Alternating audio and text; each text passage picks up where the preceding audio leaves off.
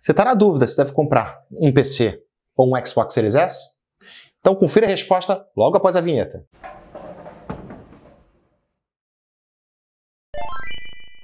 Fala, meus queridos e minhas queridas!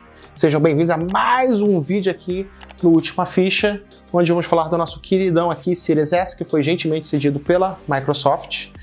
E, antes de mostrar o vídeo, aquele pedidinho, curta esse vídeo, se inscreve no nosso canal aqui no YouTube, em nossas redes sociais e confira a gente lá no Discord. A gente tem um grupo que fala com uma galera show de bola todos os dias. Todos os links estão aqui embaixo na descrição. E, se você puder, colabore com o nosso grupo aqui no Última Ficha, aqui no YouTube, onde com apenas R$ 2,99 você pode ajudar a gente a criar mais vídeos e trazer conteúdo para vocês. Então vamos lá. Uma coisa que eu estava me perguntando, né, e eu sempre falei isso, eu acho que a Microsoft, com todas as estratégias que ela tem feito, com a questão do Game Pass, que a competição da Microsoft começou a ser entre o próprio PC. Ora, se eu já tenho um PC gamer, vale comprar um Series S? Por quê? Né? Roda a mesma coisa. Não tem o Game Pass? Não tem o Windows Store? E aí?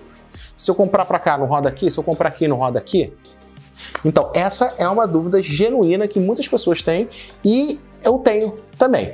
Mas vamos lá. É, o interessante, logo de cara, eu digo: se você já tem um notebook gamer, que é o meu caso, ou então, se você é, já tem um teu PC gamer, cara, não vale a pena o Series S. Por quê?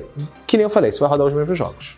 Claro, estamos partindo do princípio que você tem um bom PC, você tem um bom notebook, você já está na série 20, já está na série 30, entendeu? Aí vale muito a pena. Mantém o teu PCzinho e é isso. Abraço. E claro, você pode comprar o controle e jogar no seu PC. Então, você vai ter, você vai ter a experiência Xbox aqui dentro. Porém, eu não tenho um PC, Léo. E aí? Também não tem um Series S. Então, gente, assim, de cara, de cara, eu digo que isso aqui é um monstro. É um monstraço. Olha, mas o monstro não é o Series X, é mais monstro ainda. São duas monstros, são duas Godzilla em vez de um só, entendeu? É, o que que acontece?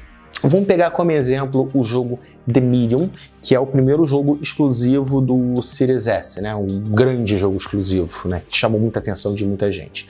Uh, ele pede como recomendado uma 1660 Super. O que acontece? São, são, duas coisas. Primeiro, essa placa, só essa placa de vídeo, nada além dessa placa de vídeo, custa entre 2 a 2.500 reais, o preço razoável, sendo que com a falta de placa que está tendo no mercado, que é gigantesca, tu vai encontrar ela na casa dos 3 mil reais. Tem muitas lojas que não tem a placa, você nem sequer pode encontrar, você vai ter que recorrer a uma 2060, uma 2070, que é muito mais caro. Então, somente a placa de vídeo para você rodar os jogos que vem aqui, novamente pegando The Medium como base, que é o jogo teoricamente mais pesado, você só a placa de vídeo é o valor já do Xbox. Então, só isso já responde a sua pergunta. Mas não é só a placa, né? O computador inteiro. Então, gente, para você comprar uma máquina, tá? Um PC que rode os jogos que o Series S roda. E eu não tô falando com Ray Tracing, tá? Eu não tô falando em, em 4K. Não.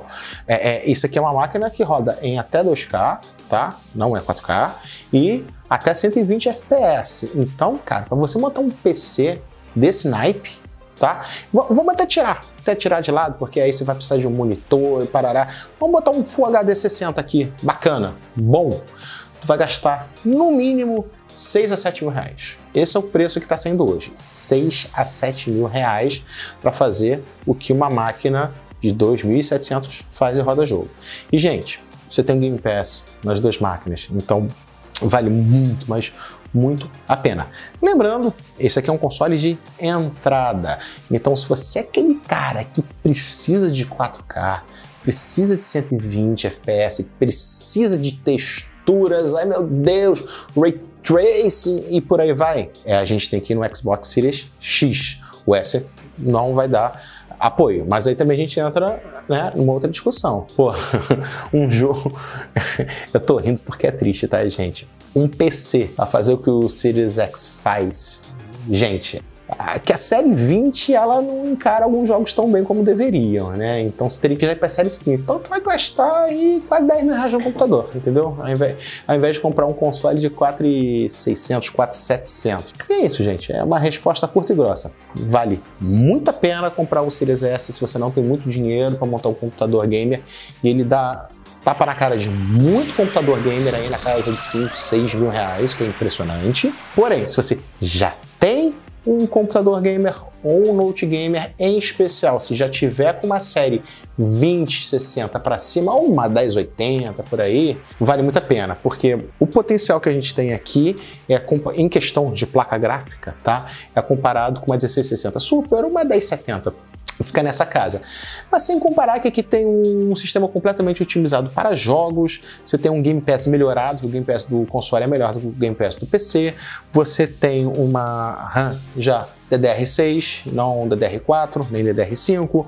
Você tem um SSD otimizado, completamente customizado, que ele é, ele é mais rápido que o SSD do computador. Então, você tem uma série de vantagens que, cara, esse pequenininho, esse rapazinho aqui que você quase dá para colocar no bolso e levar para qualquer lugar, destrói um PC. Então, galera, mais uma vez, muito obrigado por ter assistido esse vídeo. Não esqueça de comentar, curtir, seguir a gente, que a gente quer ver aquele like aqui. Se tiver alguma dúvida, comentário, pode botar seu comentário. Também não esqueça de seguir nossas redes sociais, assim como o nosso YouTube e o nosso Discord, onde tem o pessoal que a gente troca uma ideia muito legal com eles. Todos os links estão aqui embaixo na descrição deste vídeo. E também, se você puder apoiar a gente a partir de R$ 2,99 no nosso clube aqui no YouTube, vai ajudar muito a gente a trazer mais conteúdo para vocês. Então, um grande abraço e até a próxima!